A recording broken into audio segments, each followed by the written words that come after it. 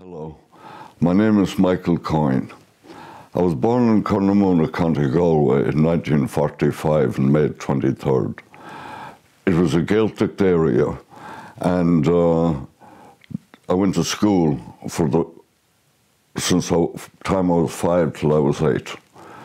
And when I was eight, we moved up to Jenkinstown, Kilcock County Meath. And we had a dairy farm.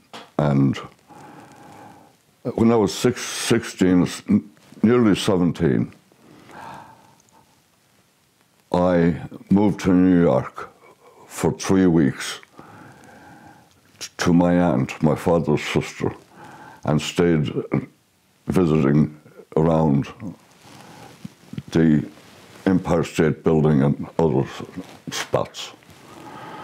Uh, after three weeks, I moved to Chicago to my uncle, my mother's brother, and I got a job. He got me a job with an Italian gardener. We went around the suburbs and all of that, cutting grass. And after about three months, he got me another job for a furrier, an Irish furrier. And uh, the next four years doing fashion shows and working with furs and all of that kind of thing. And uh, in that period, I, was, I got a call. I, when I was 18, I had to sign up for the draft, basically. And uh, I did that. And two years later, I got a call up for selective service. And I went, uh, Van Buren Street is wh where they were taking the men, or as I should say. I showed up anyway, and uh, my boss, the furrier, got me off the first time for his own interest. I, uh, I, I came back and back to work, and a couple of months later, I got called up again. I knew it would be a regular thing every three months anyway. So, showed up again and told me again, you're go back, you're going back to work, you're not going to going in today. I said, no, I want to go, Essos. I want to get it over with, which I did. Because you, you're doing up a bad record if you kept trying to dodge it. You know what I mean? And, uh, right, the captain, he was there, he says, you're in. So I was in, went down to Kentucky the first night on a train from Chicago. About a third of the guys that was in basic training were from Chicago and its surrounding areas in Illinois. And we went down to Fort Campbell in Kentucky for two weeks. And that time they were just like it was indoctrination and getting measured for uniforms, pulling teeth and all that kind of stuff, haircuts. After two weeks there, they picked out people and called out your name, and I was one of them anyway. There was bunch going down to Fort Stewart in Georgia. So the guys from the, the uh, Illinois area, they all went down to Georgia with me. Some of them, some of the rest, like they went elsewhere. And when we got down there, there was another batch came in from New Jersey, another company that, that just recruit company, training company, and another batch from Tennessee.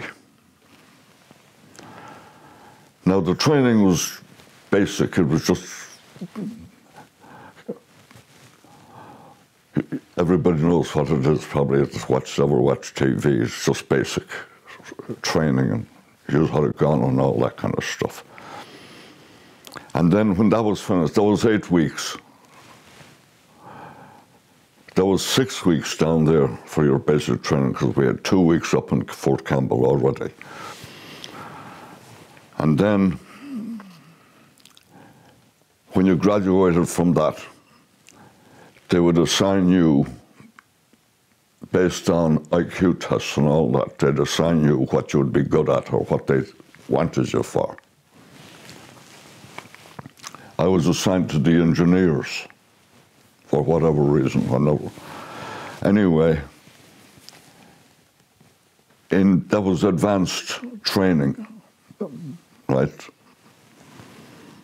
And the first day that I was assigned to this, we had all the engineers were called together and all that, or so, to be engineers or whatever. And sergeant said, need two, in, two volunteers, first officers. Now, the pattern was in the army, you'd never volunteer for anything. That was, anyway, I, I wasn't, I says, I'll volunteer for whatever it is. And another guy did, he was from Chicago too. And he, he was told first, you're going down to flight engineering, flight uh, air traffic control, the, the training for that. And you're going to film projection school to me. And I wasn't sure what that was all about, but I did the course anyway. It was only, as far as I remember, three or four weeks.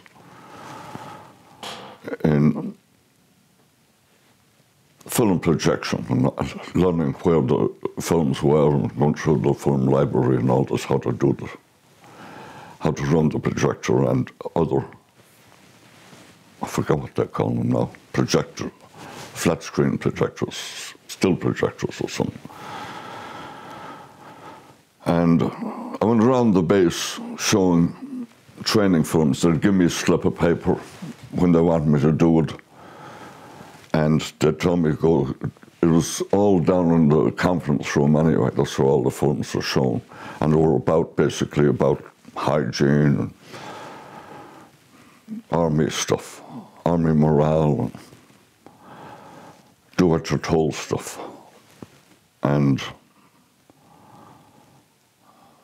war, whatever you call it, ide- ideology. That means that you just really, you have to do what you're told and you'll pass.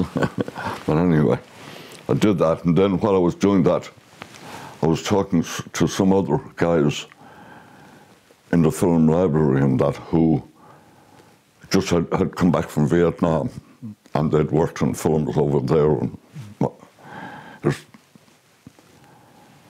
told me it was dead handy, you know, all that. So I went down to the office, and that was in Fort Stewart. I told the sergeant I wanted to volunteer to go to Vietnam. And he said, no problem. Said, I knew that would be no problem because they were looking for guys to do it all the time. And then a couple of days later, he come back to me. He says, uh, "You're not a citizen." Uh, uh, he says, "I'm going to have to send up to Washington to get your clearance." I knew there'd be no problem there either, because I'd seen others. You know what I mean? And I was back. Oh, you're clear. And then they gave me 30 days off or something like that. I'm not sure how long it was. 30 days maybe. And. Uh,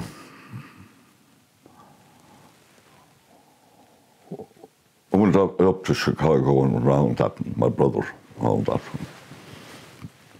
Patrick. And he,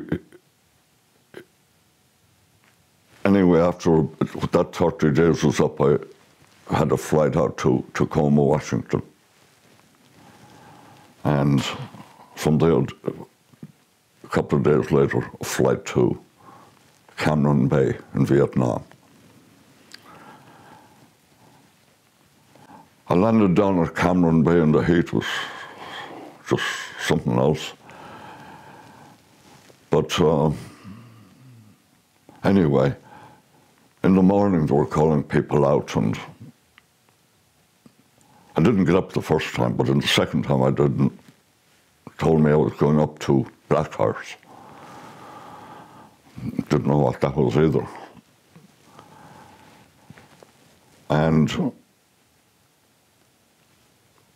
that evening got on a helicopter and were flown up to me and two other guys. Got flown up to Xuan Loc. That's where the Black Horse Base Camp was. That's what Black Horse is. It was the 11th Armoured Cavalry Regiment base camp. They were building it at the time. And uh, when I got there, the colonel, I think, was, I don't know, I remember, Jack MacFarlane, I think. But he uh, asked what we were and all that, what, this guy and that. And uh, the rest were tankers, I think. Not sure. They asked me, and I was a film projectionist. He didn't know what to, where to put me at the time, I think, really. So he just said, you'd be my driver for the mean the meantime. That was driving his Jeep around the base. And that was it, really, basically. That lasted a couple of weeks. And then, uh, well, in that time, I bought a camera, a film camera, a super, uh, not a super, eight millimeter film camera in a Korean exchange, PX or whatever. It was on the base. And I thought it would be handy because probably I got the notion in, during film projection and all of that. It certainly put something in my head to want to do it. A lot of people ask me why did I, how did I, what provoked me or whatever then, I was put on a track that's a, 113 as a scout.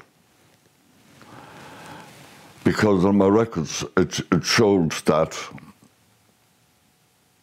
I was, I could speak two languages. Now, I couldn't speak Vietnamese anyway. and uh, so I think that's why it put me in the Scouts because what I was doing would be, what I was meant to be doing would be to get down and check things out and talk to people, and, which I ended up doing anyway, actually, although it was off a tank. A couple of days, a couple of weeks later, I was put on a tank. Danny Klein, he was from Texas, he was tank commander and Harold Kilo was the driver. And Donald Fisher was the loader. And normally, a four man crew on the tank, that's what's. Now, they didn't, we didn't use the gun sights or anything like that at all. It was more shotgun type stuff. So the gun, the gunner, that was what they called the gunner, was replaced by the job he had. He was put on the back deck with an M60 machine gun, all whole array of weapons, an armory of stuff. And I did that job on the tank. I did the loader on the tank. This is over different periods. I come off the tank and scouted when they needed somebody to scout. And I drove a tank. We operated mainly along out of Xuan Loc into up along the Cambodian border, Highway 13, all that way, up through the jungles and all that months of it. We were up in the Cambodian border somewhere, uh, uh, uh, uh Nien. The Tet offensive broke out. We all had to race down to Saigon, on that area, Bien Hoa or somewhere. We fought our way up there through the Ho Bo woods up to all up there. And when we got up there, we had to fight our way back down again. They were everywhere. And we got down, I don't know, but don't 12, it was a hundred and something miles anyway. Tanks were left burning and you name it. And then we moved back down to Xuan Loc area. And uh, the 19th of February, that was just after the, February, that was two weeks later, like up, we were up and down every battle that we were called into nearly every battle every day that was going on. On the 19th of February, we were in a convoy and we, me, we were the first tank leading the convoy. And we came to this culvert that was south of Xuan Loc, about five miles, I think, or something like that. And Danny Kleins pulled the tank up anyway, and basically we discussed it as we used to, like, what's up here? And we decided, or he did, he, he made the decision, or somebody else decided higher up, that the engineers would be called in to do two minesweep the area. And while, while the, waiting for the minesweeping guy, engineers to come up, they started to sweep the area. And I was standing up on the tank on the back deck, looking down at, we were just only about 10 feet away from what happened. And his name was Shannon, I'll never forget his name because an Irish name. And he was a captain in military intelligence. He came up and he was warned that not to go any further. The road hadn't been mineswept yet. And at that time, at the same time, I could hear radio communications urging them to get a move on a lot of pressure to move up to where whatever was the aim and objective of getting to. And he says, uh, I didn't take all this training in the States for nothing.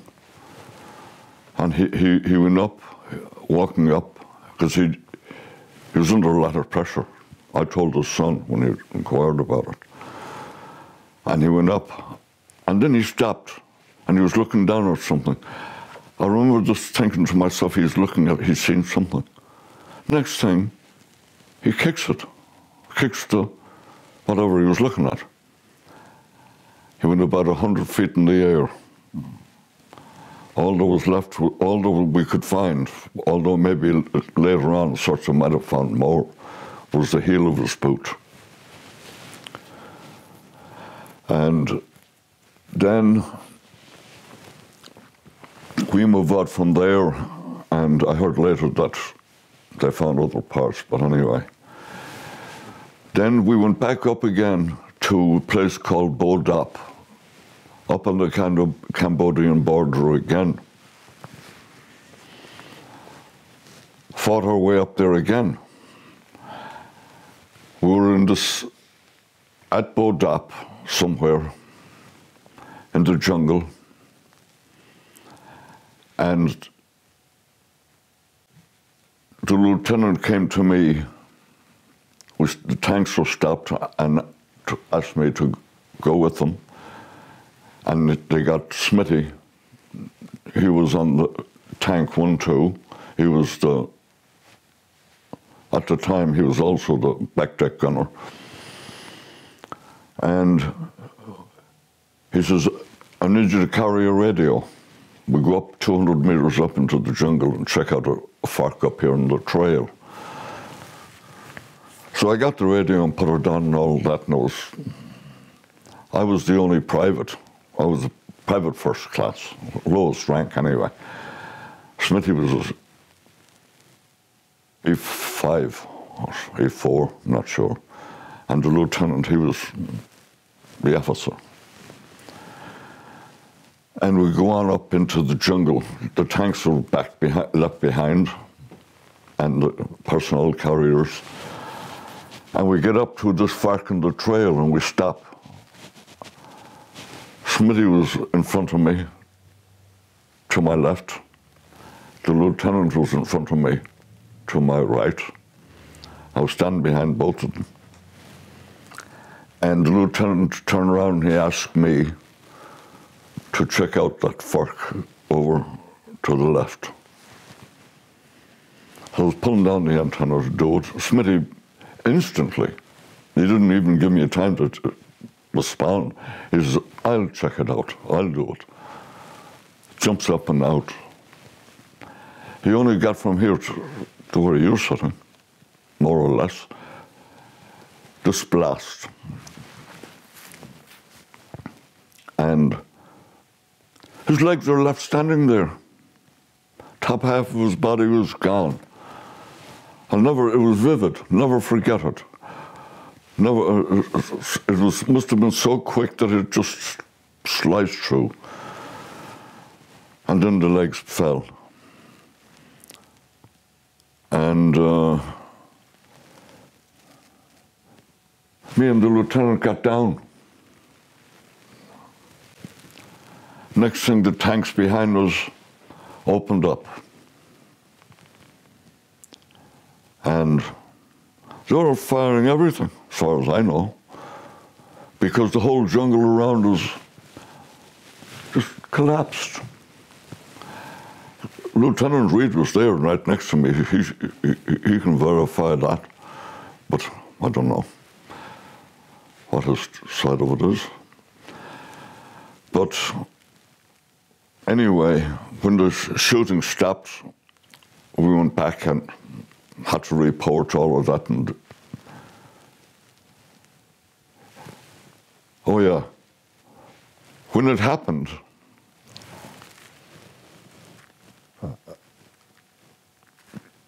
the explosion threw all kinds of stuff around. Like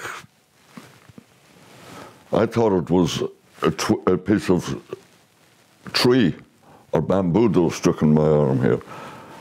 I pulled it out to look at it. It was actually part of his rib cage. And uh, yeah, reported it all to the day, quiz and all that, what happened. And,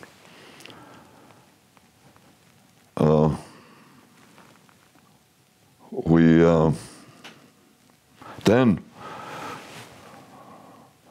moved out again, moved back down to, uh, that was April, April the 16th, Smithy got killed and we were up on the Cambodian border. Yeah, while we were up there, or on the way up there, on the way back, I'm not sure which, one day I was on the tank and a chaplain come up to me. Didn't know who he was or nothing because, but he says, "You're a Catholic, aren't you?" Coyne. I says, "Yeah." He said, uh, "Do you know any prayers? Do you know how to say any prayers?" I says, "Yeah." I says, "I know how to say the Hail Mary."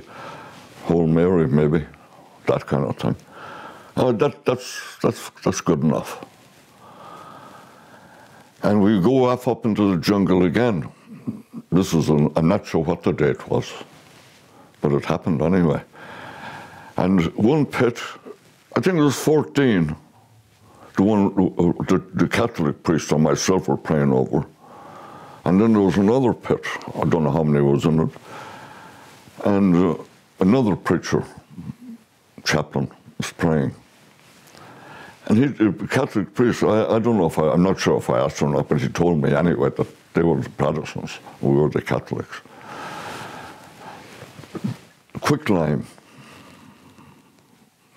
into the, it was a pit and quicklime. I, I, I'm not sure where we were. I don't know if we were in Cambodia, but the reason that they, they were buried that like there was it couldn't be got out eh, without losing maybe a whole lot more. I don't know. 13th of April. I'm not sure where we were, but we were down further down towards Saigon anyway. Hanai, maybe somewhere like that. But anyway, we drove into a minefield. In, leading it in was some armoured personnel carriers went in there. And I remember when we were following in,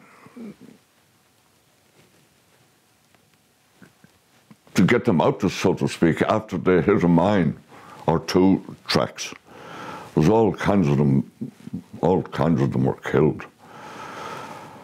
And I had to get down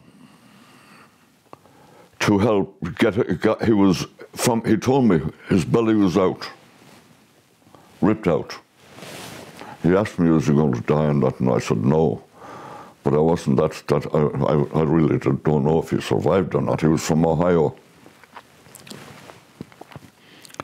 I think it was Columbus, he says, I'm not sure. But uh, he was picked up in a helicopter and taken away. But that was the most fearful time of I ever remember. Made me afraid was walking in the minefield. Every step I took. And then I went back to the tank, got up on the tank, and as I was getting up on the tank,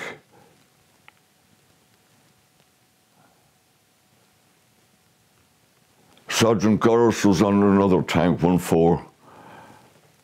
Oh, before I got up on the tank, he was on the ground and his, he was hitting the chest with shrapnel and the blood pouring out.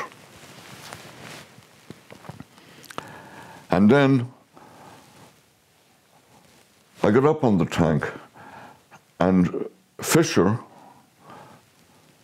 got hit in the back with shrapnel from mines going off and all that. Anyway, I don't don't remember how we got out of that field, but we got out of it somehow anyway. But a whole lot of people got in, killed and injured. That could all be checked out, like to go close enough records, because the people killed and all that. And then we were moving somewhere down to somewhere else along that on the way down again.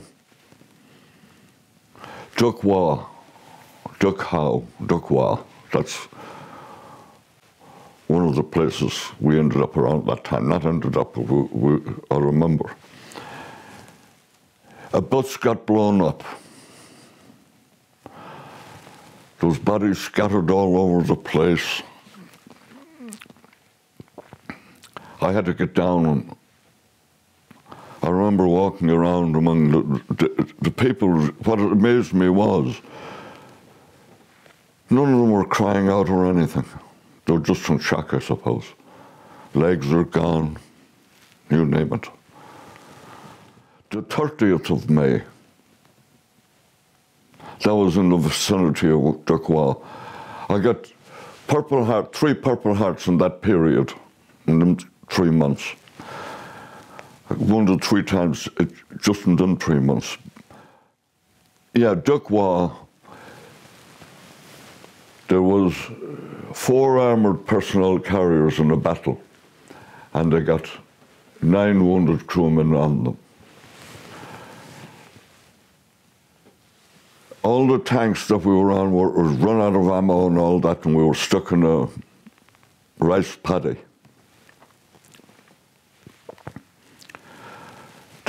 I took some film on the scene that day, uh, among other days, where I'd taken film of where we were. And after that, the captain said he needed some volunteers. There was only two or three of us around anyway, two that weren't injured or dead. And we need volunteers to go out and get nine wounded crewmen off of these four assault vehicles that are about 200 feet yards ahead.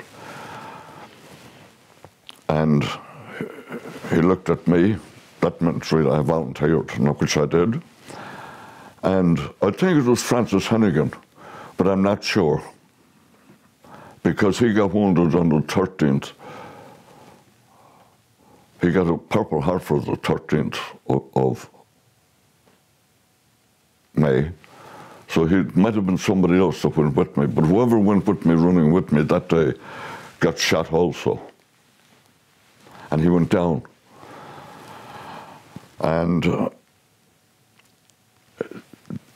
the machine guns were zeroing in on us and all, bullets flying everywhere. And this is all in dispatch and all. Uh, I said, said to him, I'm going to have to go on. I said, and I did. And I ran out and I got out there. there was, I think there was, well, according to, to the, the report, along with me, there was two others there. But there had to be some there, but it was so, I cannot. We carried anyway the, all, all the bodies, not, not the bodies, now we ca carried all the wounded, the nine wounded. Was some of them were dead, not the nine weren't dead, but those others dead. And we got them onto one track and drove it back and got them out. Now, I don't know what happened to any of them or any of their names because they were, I think they were B Troop. I'm not sure, but that could be easily determined anyway. And I got a, a, a and a V device for that. And a Purple Heart because I got shot in the arm also. But I didn't, it, it was just a deep graze, didn't affect me what I was doing. Then we, I think we went back to the base camp then for about a couple of weeks, maybe. Not even that, a week maybe. We were out in the jungle and I got sick as a dog. And I caught malaria. But I didn't know it was malaria, but I knew it was deadly because I was just so sick and all that passing out. They called in a helicopter. The helicopter dropped down to pick me up through the jungle. I was on a stretcher and all that and picked up and flown to Long Binh Hospital. When I got there, still as sick as a dog, headache and fever, and they took a blood test. And it didn't show malaria because I didn't know this either, but I was told later that it goes, it cocoons and comes back. It comes in periods, and it didn't show on that one. That's according to them anyway. So they flew me back out to the jungle. I passed out out there, semi semi conscious. That's all. Called in the helicopter again. That's twice I was helicopter out of the jungle. Back into the hospital. Took the test again, and I had the worst type of malaria right? And the temperature, the, uh, I have all the records because I got all my records. 105. They had me in ice packs and everything. That was on the 1st of July. I was the second time I was flown back in to the hospital. Semi coma for the I woke up, and this is a fact, on the 4th of July. They have it on the records and everything, they were giving me the stuff. And then I was in the hospital there for, I don't know, maybe a month. Then they flew me to a hospital in Tachikawa, Japan. I think it was Tachikawa. Spent a week or two there. Then I was flown to Alaska. I was in a hospital up in Alaska. White Horse, White, I'm not sure what's the name of the place. And a couple of weeks up there, I remember the, the cool air was, the weather was just lovely up there. Was, I think it was just, and then that'd be in July probably. No, be, uh, maybe August. And then I was flown, I went, flown down from Alaska to Valley Forge, Pennsylvania. And I was in a hospital in Valley Forge, Pennsylvania until the 29th of August. That's when I got out. I remember walking the corridors, miles and miles of corridors. And every injury imaginable.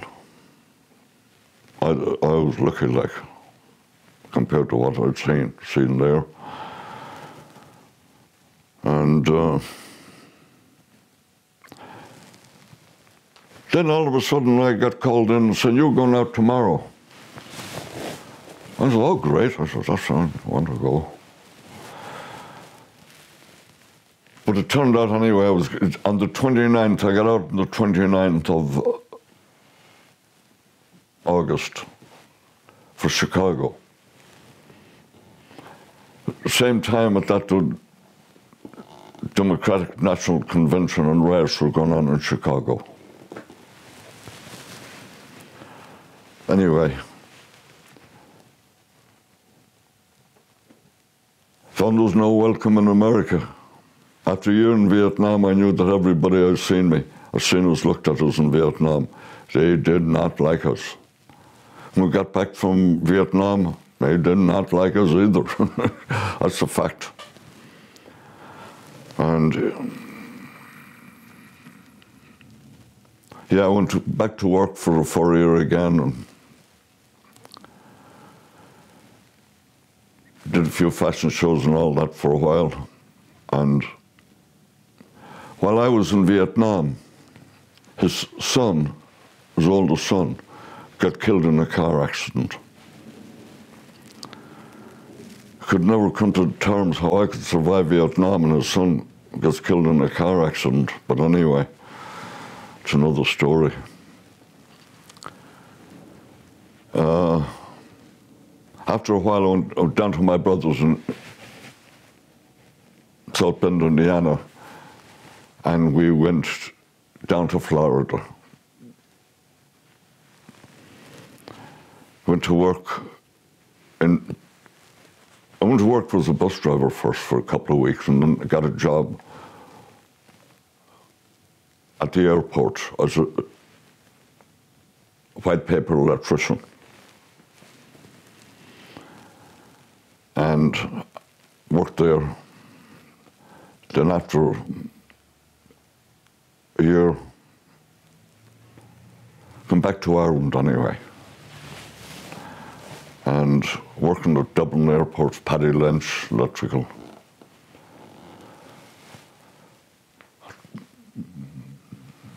Maybe two years, a year or two. Then I went to England and went out to Saudi Arabia, worked out there for about nine months in the oil fields working in the power stations and that. Then uh, spent a while in the Merchant Navy, British Merchant Navy, as an electrician on ship. Then I worked in England again for uh, seven years.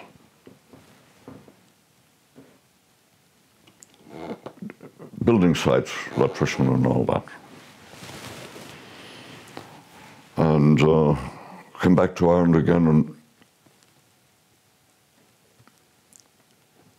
in 1979. Worked for CIE in Chicago for five years. Had an accident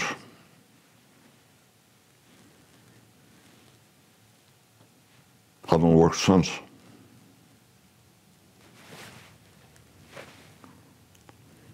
That's about it.